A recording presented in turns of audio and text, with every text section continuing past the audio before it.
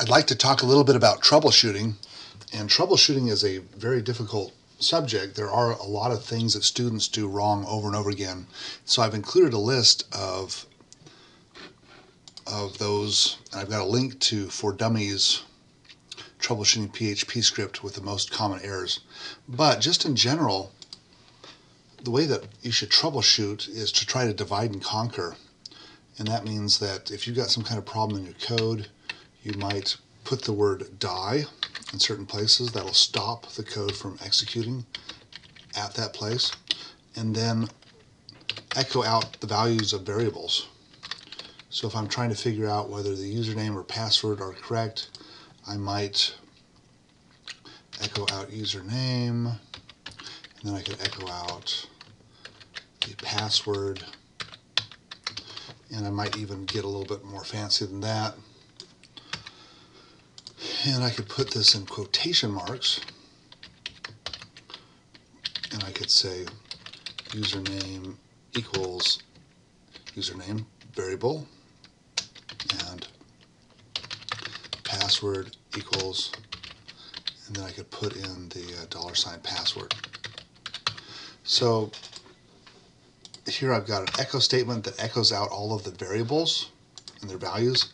And I've got a die I can just move this down.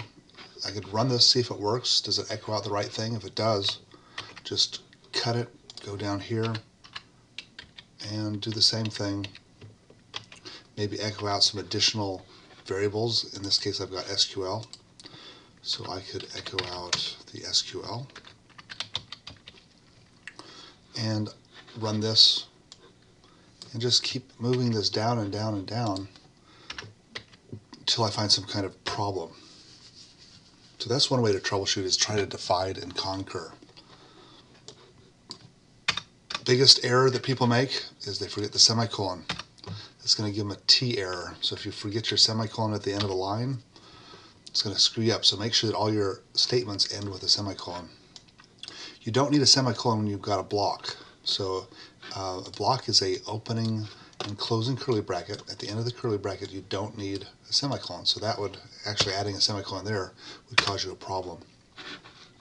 Another thing that is in comparisons, we have to put equals equals, not just equals. So if we put equals, that's assignment. Equals equals is comparison. That's a big error that people make in if statements. Another problem is the quotation marks.